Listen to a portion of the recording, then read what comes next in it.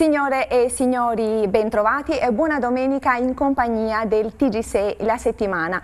Partiamo da lunedì con le notizie di maggior rilievo. Taglio del nastro a San Salvo per Amazon, il colosso del settore e-commerce. Si tratta di un investimento per oltre 250 milioni di euro. Le attività sono cominciate ufficialmente nella mattinata. Inaugurato questa mattina nell'area industriale qui a San Salvo il centro di distribuzione più grande per il centro-sud di Amazon, il colosso, la Internet Company che fu fondata nel 1994 da Jeff Bezos e che è stato lungimirante nell'intercettare quello che sarebbe stato lo sviluppo futuro degli acquisti online, degli acquisti via internet. Un progetto ambizioso, 60.000 metri quadrati per quattro piani e un investimento di 250 milioni di euro euro è costato l'impianto che vedete alle mie spalle, un uh, impianto che dà lavoro per il momento a 640 dipendenti ma che prevede di assumere nell'arco di tre anni mille dipendenti. Un impegno che è stato preso anche dalla Regione Abruzzo nella persona del Presidente Marco Marsilio che ha parlato di un esempio di concertazione, un esempio di collaborazione, quello che ha portato oggi qui a San Salvo il uh, colosso dell'e-commerce. Abbiamo iniziato circa un mese e mezzo fa e mm, contiamo di raggiungere i mille dipendenti entro i tre anni dall'apertura. Dal punto di vista logistico come funzionate? Insomma, come avviene l'evasione degli ordini? Allora, questo è un centro di distribuzione e il centro di distribuzione è quello che noi chiamiamo il primo miglio, ovvero il, um, il punto da cui partono gli ordini e in cui risiede tutto l'inventario di Amazon che si trova sul, sul, sul nostro sito.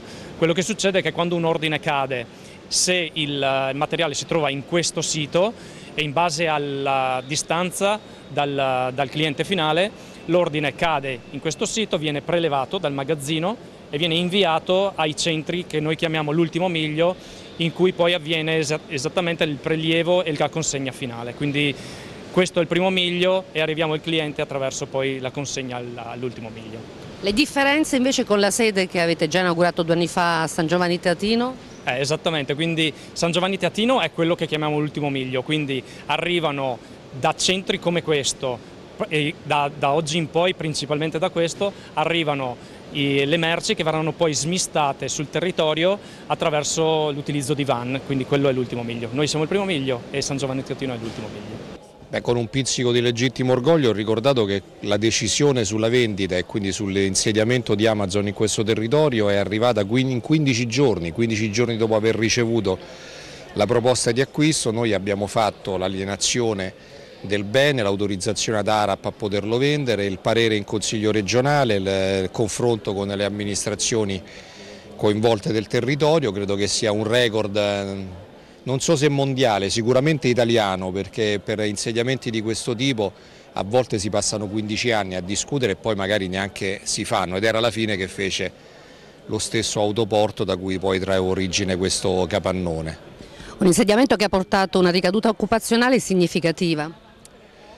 E ce ne attendiamo, oggi già significativa, ce l'attendiamo entro i tre anni come promesso, come da impegni di sviluppo di Amazon noi attendiamo a, eh, intorno alle mille persone occupate direttamente in questo stabilimento più tutto ciò che significa l'indotto. È naturale che siamo felici per aver dato una scossa importante soprattutto in tempi di crisi economica eh, creare posti di lavoro credo che sia sempre la ricetta migliore per poi eh, combattere la povertà e creare benessere sociale questo benessere deve essere eh, anche una nostra preoccupazione anche nella qualità del lavoro che si fa e quindi ci siamo anche confrontati per un settore che ha vissuto e continua a vivere in alcuni suoi segmenti, quello della logistica, conflitti sindacali importanti, eh, però la logistica è sicuramente lo, il futuro dell'economia e, del, e del commercio anche dell'industria.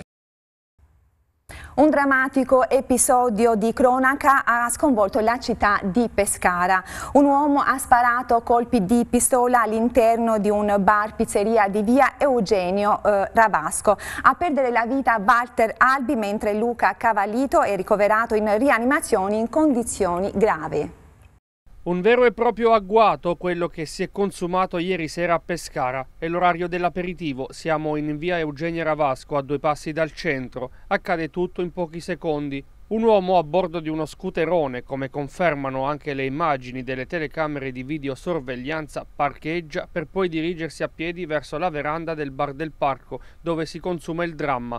Colpi di pistola. Chi ha sentito dice più di uno, che non lasciano scampo a Walter Albi, 66 anni, architetto di Francavilla al mare, mentre resta ferito in maniera grave Luca Cavallito, 48 anni di Pescara. Attimi di secondo e il killer, col volto coperto, si dilegua nel nulla a bordo del suo mezzo lasciato pochi istanti prima.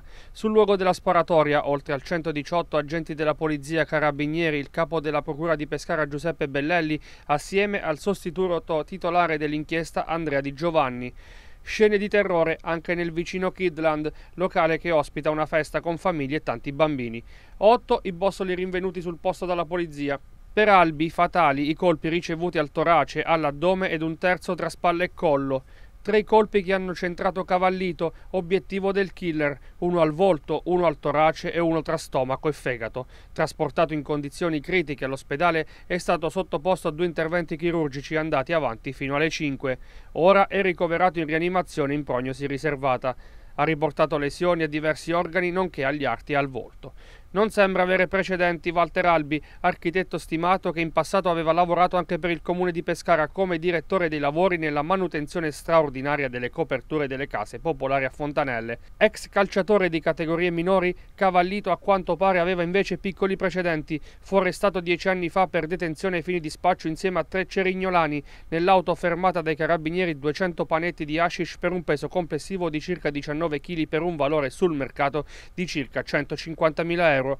Sulle tracce dell'assassino si sono messi subito al lavoro le forze dell'ordine che sperano, confidando nell'aiuto delle telecamere posizionate in altre zone della città, di recuperare notizie fondamentali per cominciare a capire il perché di questo gesto. Dopo l'ennesimo episodio di violenza, la città torna a interrogarsi sulla questione sicurezza. Il sindaco Carlo Masci chiede più unità di polizia e conferma ancora una volta come Pescara sia una città sicura. Pescara è ancora una città sicura? Ora se lo chiedono in tanti dopo l'episodio di violenza che ha riportato al centro della cronaca nazionale la città adriatica. Un delitto senza pietà, colpi di pistola che non hanno lasciato scampo all'architetto Walter Albi, mentre il suo amico Luca Cavallito, che era lì con lui adesso, lotta tra la vita e la morte. Sul luogo del delitto è intervenuto il sindaco Carlo Masci che chiede a gran voce non solo al questore, ma anche agli organi superiori come il Ministero dell'Interno di dotare la città di più agenti di polizia. Nei giorni scorsi, proprio in un tavolo tecnico in prefettura, il questore Luigi Liguori aveva lamentato scarsità di personale. Non è possibile che ci siano solo due volanti della polizia che girano di notte a Pescara, quando Pescara è una città di grande attrattiva. Eh, eh, D'altra parte lo dimostra anche il fatto che purtroppo dei due eh, che sono stati coinvolti in questo episodio, uno è residente a Francavilla e l'altro a Montesilvano, però si incontrano a Pescara, sono pescaresi, gente che vive il nostro territorio, che viveva il nostro territorio. Non è possibile che accadano questi episodi. Eh, la città vuole risposte chiare, forti e determinate. E poi è lo stesso primo cittadino a voler smentire le voci che vorrebbero Pescara una città non più sicura, ma dove è evidente che gli episodi di violenza stanno aumentando. Senza scavare troppo nel passato possiamo benissimo ricordare l'uccisione di Marco Cervoni il primo gennaio del 2020 ucciso nel quartiere di Rancitelli e poi la sparatoria che ha coinvolto il 10 aprile scorso il barista Jelfi Gruzman in pieno centro. Eh, la città è controllata, abbiamo 400 telecamere, adesso sono all'opera per cercare di eh, individuare se possibile eh, l'assassino, però Pescara ha bisogno di più controlli da parte delle forze dell'ordine. Ora cittadini e residenti di quella zona sono sconvolti. Ai nostri microfoni la testimonianza di un genitore che si trovava insieme ai suoi figli presso il parco Kidland. Il primo pensiero è andato ai bambini che stavano giocando, abbiamo visto gente poi scappare, correre dentro, gridare c'è un pazzo che sta sparando. Il primo pensiero è stato correre dai bambini e metterli al sicuro, quindi poi ci siamo rifugiati all'interno del locale, il gestore è stato pronto a uh, chiudere ogni accesso per mettere al sicuro le persone dentro e poi abbiamo visto arrivare polizia da tutte le parti, ambulanze, pian piano si è, si è formata la storia dove stato, è venuto fuori che sostanzialmente da quello che si capisce un attentato. Era attesa la super perizia riguardante la tragedia di Rigopiano avvenuta nel gennaio del 2017. I periti nominati dal GUP Gianluca Sarandrea hanno depositato il fascicolo di 390 pagine che ora sarà studiato dagli avvocati. Per ottobre è calendarizzata la discussione. Quanto abbia contribuito il terremoto sul processo di innesco della valanga che causò il crollo dell'hotel Rigopiano di Farindola il 18 gennaio 2017 non può essere quantificato, ma allo stesso tempo è impossibile da escludere. Dunque la superperizia realizzata dal pool di esperti del Politecnico di Milano su incarico del GUP Gianluca Sarandrea non scioglie il nodo riguardante il nesso di causalità tra terremoto e valanga, punto nevralgico su cui fanno forza difese in un modo e parti civili nell'altro. In sostanza, le 390 pagine redatte dai consulenti Daniele Bocchiola, Giovanni Menduni, Claudio Di Prisco e Marco Di Prisco lasciano la porta aperta a qualunque possibilità. Per quanto attiene alla valanga, scrivono i professori del Politecnico, l'accumulo di neve e la presenza in ampie zone di uno strato debole ha certamente determinato l'innesco della valanga. Ciò nonostante, ancora una volta non è possibile escludere a priori che anche il sisma abbia giocato il proprio ruolo.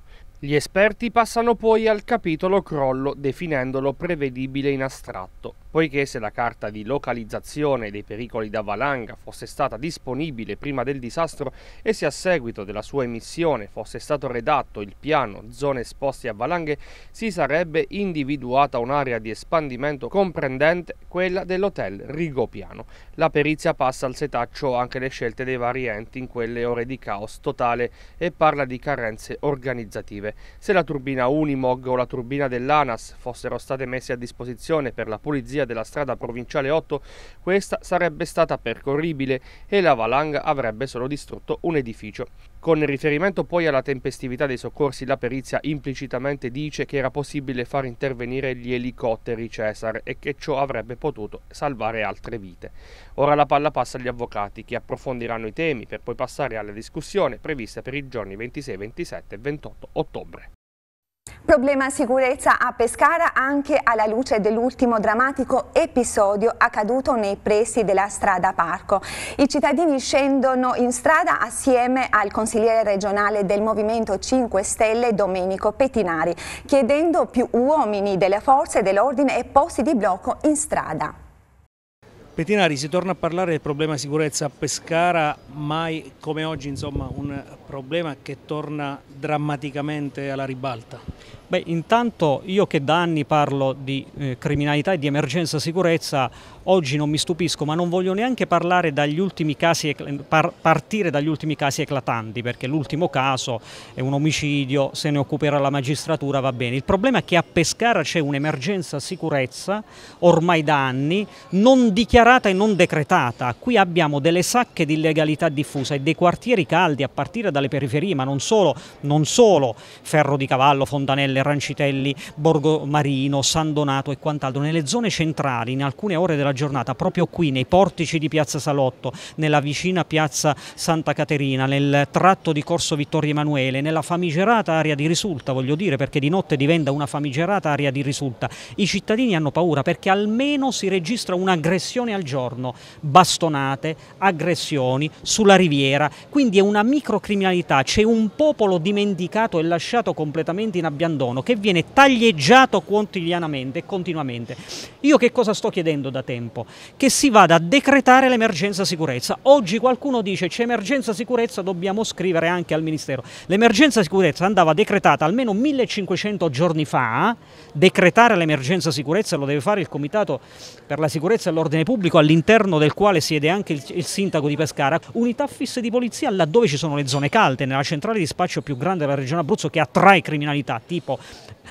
ferro di cavallo, rancitelli non solo, là ci vogliono unità fisse, in altre zone ci vuole l'operazione strade sicure per dislocare più pattuglie e un ausilio con i militari. E poi un'altra cosa mi si consenta posti di blocco, io voglio vedere la mia città cinturata, è una città non sicura, lo vado dicendo da troppi anni, oggi cominciano a dirlo anche gli altri, è troppo tardi, mi fa piacere che qualcuno si è svegliato da un lungo sonno, ma è troppo tardi, quindi si faccia subito, si faccia presto, perché soprattutto qui in centro, nella parte centrale della città, tante persone hanno paura. I sindacati CGL, CISL e UIL hanno chiesto un incontro ai vertici della ASL di Pescara per discutere della criticità riguardo il pronto soccorso dell'ospedale civile. Di Giovanni fra poche ore ci sarà un incontro tra i sindacati e i vertici ASL di Pescara per parlare delle problematiche soprattutto inerenti al pronto soccorso dell'ospedale eh, Santo Spirito. Questo incontro ci sarà domani, avete voluto fortemente incontrare i vertici della ASL per eh, manifestare insomma quelle che sono le problematiche che attanagliano proprio il pronto soccorso.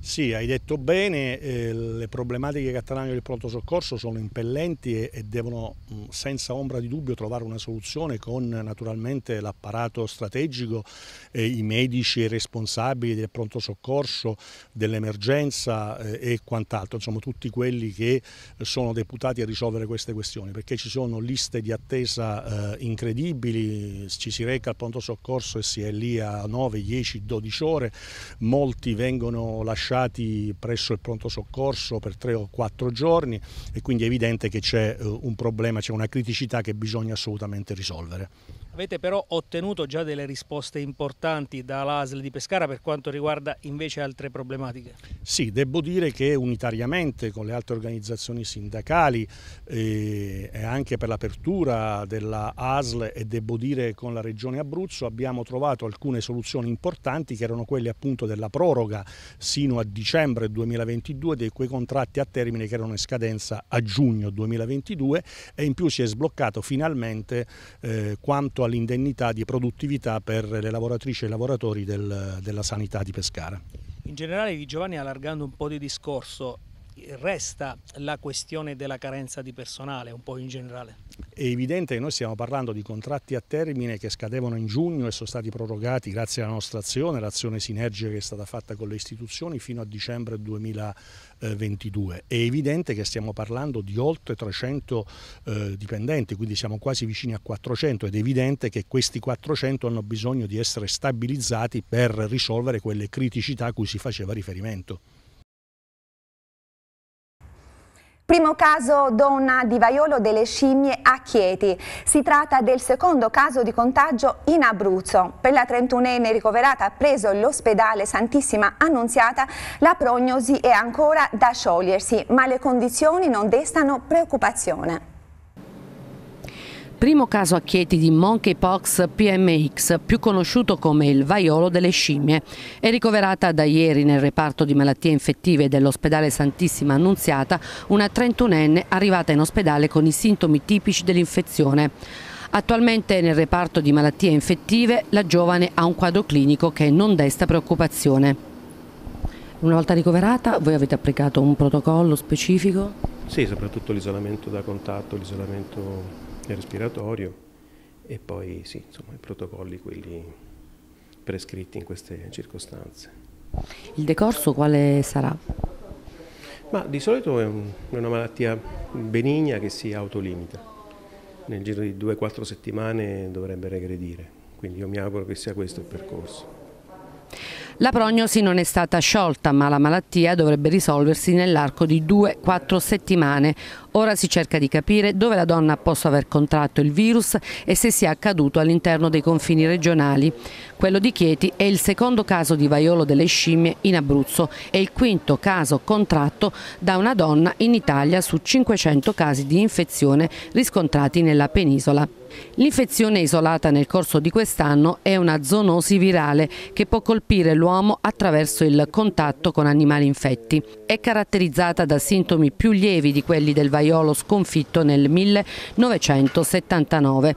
Febbre, mal di testa, brividi, astenia, ingrandimento di linfonodi e dolori muscolari ai quali fa seguito l'eruzione cutanea di lesioni che si presentano all'inizio come vescicole pruriginose ma che si trasformano poi in croste. Il contagio avviene attraverso il contatto. Eh, le vescicole contengono il virus e quindi sono fonte del, del contagio. Non è chiaro mh, se c'è una pericolosità della trasmissione per via aerea, ma sembra di no. Eh, quindi quando viene diagnosticato un caso, diciamo, i, i, i, contatti più stretti, familiari o i partner, devono essere sottoposti a, una, a un monitoraggio. Via precauzionale basterebbe sempre la misura del gel disinfettante o bisognerebbe attuare altre precauzioni? No, sicuramente la sanificazione delle mani, il distanziamento rimane utile per qualsiasi patologia di tipo infettivo. In questo caso è chiaro che la comparsa di lesioni dovrebbero far insospettire, quindi magari eh, fare una diagnosi. Il sindaco di Chieti e l'assessora al bilancio Tiziana Della Penna rassicurano sulla tempestività con la quale si sta procedendo per l'approvazione del rendiconto in Consiglio, passaggio indispensabile per procedere entro agosto all'approvazione del bilancio consuntivo. L'amministrazione comunale di Chieti avrà 20 giorni per presentare il bilancio consuntivo in Consiglio Comunale. Decorso tale termine, il prefetto sarebbe costretto a nominare un commissario sciogliendo di fatto il Consiglio. Dopo la nuova diffida comunque dovuta da parte del prefetto di Chieti al Consiglio Comunale, entro agosto si dovrà approvare il rendiconto, atto indispensabile per il passaggio del bilancio consuntivo in Consiglio Comunale. Saremo rigorosi sul rendiconto procedendo all'approvazione in tempi rapidi e rispondenti alle scadenze previste dalla procedura commissariale, rassicurano il sindaco Ferrara e l'assessore al bilancio Tiziana Della Penna. Per questo non viviamo negativamente la missiva della prefettura perché siamo certi che da parte del prefetto ci sia la massima disponibilità a sostenerci nel cammino di risanamento dell'ente che abbiamo intrapreso. Se è stato possibile arrivare a questo punto in tempi brevi, spiegano gli amministratori, è perché il lavoro di chiusura dei conti era in gran parte definito e di qualità, come ha certificato il commissario Filippo Rosa Rosa incaricato dal prefetto. Il sindaco e l'assessore della Penna continuano affermando che non si tratta di una convinzione autoreferenziale, poiché i segnali sono incoraggianti circa il fatto che il percorso scelto sia quello giusto. Lo dimostra il risultato di essere riusciti a riportare la cassa comunale a un saldo positivo che al 31 dicembre 2021 era di circa un milione di euro, cosa che non si verificava da tantissimi anni.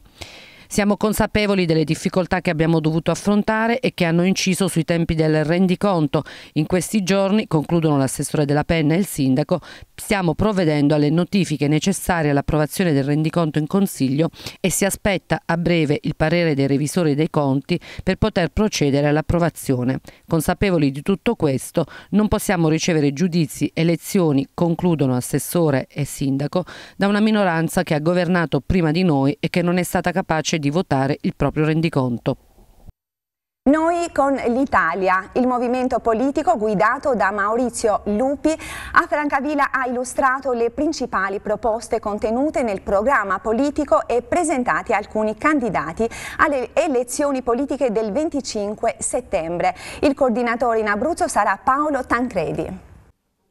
Noi con l'Italia sarà presente nelle liste della coalizione del centro-est e sarà presente con una proposta eh, molto chiara e molto netta, riportare nel centrodestra la serietà, la competenza, la credibilità, la concretezza, l'idea che dobbiamo presentarci agli elettori come coalizione di governo che governerà l'Italia eh, del 2027 e credo che alla coalizione di centrodestra serva questo tipo di proposta politica. Eh, siamo in campo, eh, lo siamo perché vogliamo bene a questo Paese eh, dal nord come al sud e questa è la sfida che portiamo. La vostra è una proposta di un centrodestra moderato, siete la parte più moderata del centrodestra? Eh, essere moderati vuol dire eh, avere non solo le idee chiare ma sapere che la politica è mettersi al servizio della propria comunità, mettersi al servizio dei cittadini. Essere moderati vuol dire eh, capire che il protagonista di una società eh, dell'Italia sono i cittadini e che lo Stato si mette al servizio dei cittadini e quindi vuol dire capire per esempio e dare eh, risposte molto concrete che a dei giovani eh, che hanno il diritto di costruire il futuro ma non, si può, non li si possono aiutare con l'assistenzialismo del reddito di cittadinanza ma capire che l'equità sociale avviene attraverso il benessere, il benessere lo danno le imprese per cui se un'impresa vuole dare 200 euro di aumento eh, in un momento come questo a un suo dipendente ne deve pagare 540 quindi le risorse mettiamole per azzerare le tasse del cuneo fiscale e dare tutte queste risorse agli operai. Adesso ci spostiamo a Teramo e parliamo di sport, nulla da fare. Il TAR del Lazio ha respinto il ricorso del Teramo che saluta la Serie C e adesso il sindaco dovrà mettere in piedi un bando per provare l'iscrizione in D in sovranumero. Fine della corsa. Il TAR del Lazio ha respinto il ricorso del Teramo e il Diavolo dunque non giocherà il prossimo campionato di Lega Pro. La sentenza è avversa in toto, ossia non è stata accolta nemmeno la richiesta subordinata a quella che voleva il Diavolo iscritto al torneo di Serie D. Svincolo dei giocatori pressoché immediato e un futuro a questo punto, tutto da disegnare e non sarà affatto semplice perché che la decisione fosse nell'aria lo si era capito già ieri in tarda serata, ma nessuno voleva probabilmente rassegnarsi a quello che è sempre sembrato un destino segnato troppe le criticità, è impossibile pensare di ribaltarle solo dinanzi alla giustizia amministrativa dopo i pareri molto duri degli organi di giustizia sportiva. I profili di censura attinenti, si legge nel dispositivo al mancato tempestivo ripianamento della carenza finanziaria della società ricorrente, non appaiono fondati. Nel caso di specie, gli elementi fattuali addotti non consentono di configurare la sussistenza di una causa di forza maggiore, rilevanti ai fini che qui interessano, trattandosi di vicende che da un lato sono attinenti al socio di maggioranza della società e come tali non estranee alla medesima, e dall'altro non comportavano l'impossibilità assoluta di un tempestivo assolvimento delle relative prescrizioni del manuale delle licenze. Inoltre non può essere accolta la pretesa di ammissione della ricorrente al campionato di Serie D, previa declaratoria di illegittimità dell'articolo 52,10 delle NOIF per carenza di attualità dell'interesse della parte sul punto, non essendo neppure stata avviata la relativa procedura. Insomma, una sconfitta su tutti i fronti, col primo cittadino Gianguido D'Alberto che dopo aver appreso con rammarico la decisione del TAR si è immediatamente attivato per governare per quanto di sua competenza l'intero processo e garantire continuità al calcio teramano. Inoltre il sindaco annuncia come la giornata di oggi sarà dedicata a valutare gli effetti della sentenza, confrontarsi con i legali della società e intensificare l'interlocuzione con la Federcalcio per proseguire sul percorso già avviato nelle scorse settimane con la lettera inviata allo stesso presidente Gravina per garantire l'iscrizione in sovrannumero della Teramo Calcio in Serie D. Una sconfitta bruciante però per la città che perde il professionismo dopo un decennio. Lo fa nella maniera peggiore possibile, lottando senza avere troppe speranze. D'altronde la sospensiva di qualche giorno fa aveva illuso in pochi, quelli che credevano ad un approccio differente da parte della giustizia amministrativa, dimenticando che la ragione di quell'accoglimento era determinato soltanto dalla volontà di non pregiudicare una situazione pendente. Ora che la decisione invece è presa, ripartire in qualche modo, oltre che una necessità, diventa un obbligo morale, prima che calcistico, da quale serie? A questo punto la parola passa al sindaco D'Alberto e alla Federcalcio. Con questa notizia termina l'edizione del TG6 La Settimana. Grazie di averci seguito, buon proseguimento.